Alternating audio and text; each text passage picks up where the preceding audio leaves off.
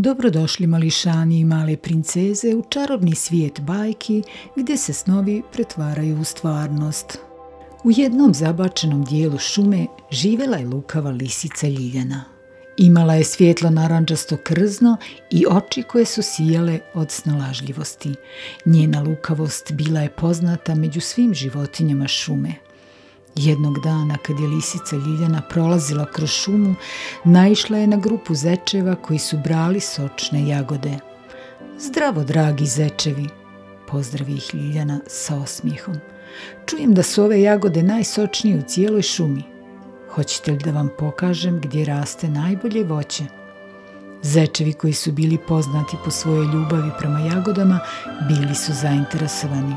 Naravno, Ljiljana, gdje se nalazi to mjesto? upita jedan od njih. Lisica im s misterioznim smiješkom reče Pratite me duboko u šumu, a tamo ćete pronaći raj sa jagodama. Ali morate ići tiho da ne probudite zmaja koji stražari nad tom čarobnom baštom jagoda. Zečevi uzbuđeni zbog obećenog raja jagoda krenuše za ljiljanom šumom.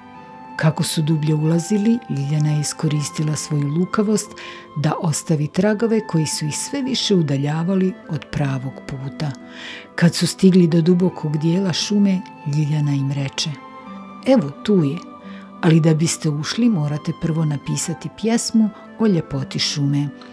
Zečevi u svojoj želji za jagodama nisu ni primijetili da je Ljiljana iskoristila njihovu naivnost. Pokušali su smisliti pjesmu dok je lisica tiho nestajala u šumi. Nakon nekog vremena zečevi su shvatili da su pretrpani zadatkom koji nikada neće završiti. Osjećali su se izgubljeno i prevareno. U međuvremenu lisica Ljiljana je već uživala u sočnim jagodama koje su rasle blizu pravog puta smiješeći se svojoj lukavosti.